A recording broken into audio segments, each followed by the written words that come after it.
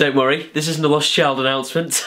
Here we are, back again, in front of the shit mat. Got a haircut, it enhances my ears, that's what you want. So today's video is going to be another one based on my stand-up, because you seemed to really like it last time. The point of today's video is to show you what I believe is my best ever joke. You might not find it funny, you might think it's disgusting, uh, but I'll show you that towards the end, I'll show you some more clips throughout.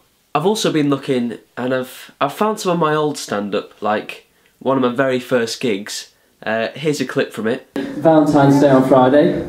Yeah. Uh, I spent it by impersonating a, uh, a self-harmer. By that, I mean a, uh, I locked myself in a room and ended up with two sore wrists. Whee!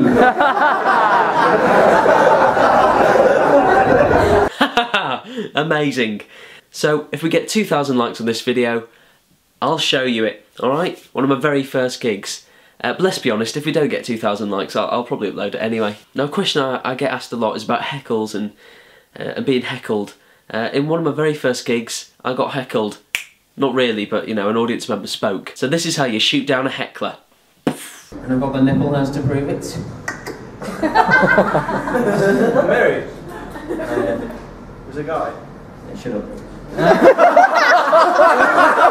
up. He regretted that one. Really witty response from me. Anyway, uh, let's get into some comedy. My first joke, uh, it, this just makes me laugh. See what you think. It's so frustrating being constipated because, you know, you know, pooing's an easy thing. Yeah, I can usually do it in my sleep.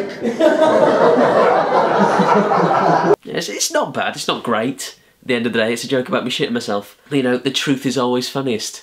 And if you're wondering what the sling and bandage is, that wasn't a, some sort of character I was trying out. I'd, uh, I genuinely had an accident. Let's head over to the comedy store. I think this is the last time I was there, uh, and you'll probably see why now. What's your name, sir?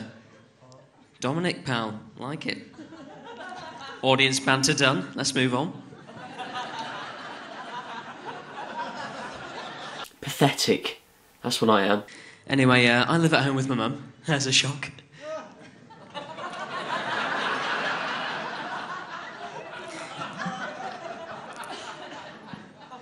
And it's a birthday next week, and, and that's got me pretty nervous, you know, because I'm terrible when it comes to buying a gift. I always seem to get it wrong. So I asked her what she wanted for her birthday. She, "Mm, just get me something for my hair. Just spotted the, the couple walking out. You know, I could see that in the corner of my eye. And the little part of me died. Something for my hair. Sounds so easy. So I went to the shops, looked at the shampoos and conditioners, and it was just a minefield of insults. It was like Tresemme for damaged hair, herbal essences for greasy hair. You don't see that on the adverts, do you? Just Cheryl Cole going, L'Oreal, because your hair's shit. Ridiculous. You know, uh, my mum always gets me. Mum always gets me joke presents. You know, things I never use, like uh, age-defying moisturiser, razors.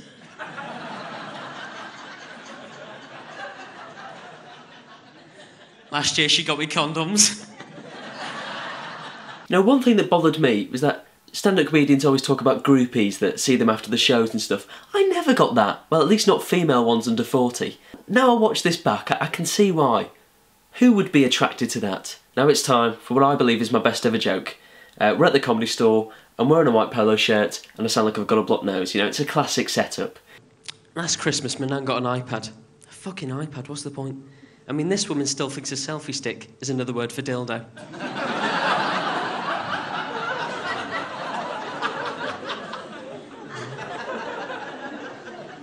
Safe to say we didn't get those photos framed.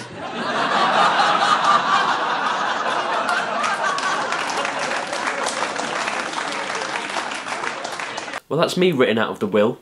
What I love most is, is how people clap that. You know, they, they congratulated me for telling a joke about my nan, uh, you know, committing an atrocity with a selfie stick. That joke just always seemed to get a really good reaction.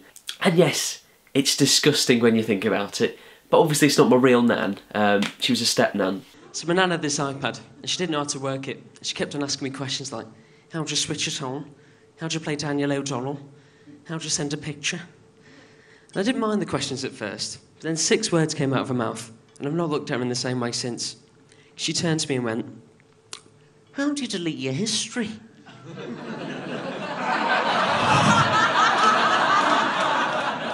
Nan! Disgusting. I scrolled through and I've never seen so many pictures of Paul Hollywood's cock. Uh, I think it's fair to say he's given Nan a few soggy bottoms. I mean, I went too far, let's be honest. And the moral of the story is, you can joke about your nan's sex life so much, but don't mention soggy bottoms, you know? Don't bring the bake-off into it. So for some sick reason you enjoy watching these stand-up videos, please leave a like. Uh, and if you've, you know, ever caught your nan masturbating, write that in the comment section below. And if you're new here, subscribe, or don't, you know, um, morally you shouldn't. Anyway, if you enjoyed this video, fantastic, hope you have a good day, and stay safe! I've developed this technique and call it the, uh, the slide and wipe. so I'm sort of getting off like this. Not for the first time.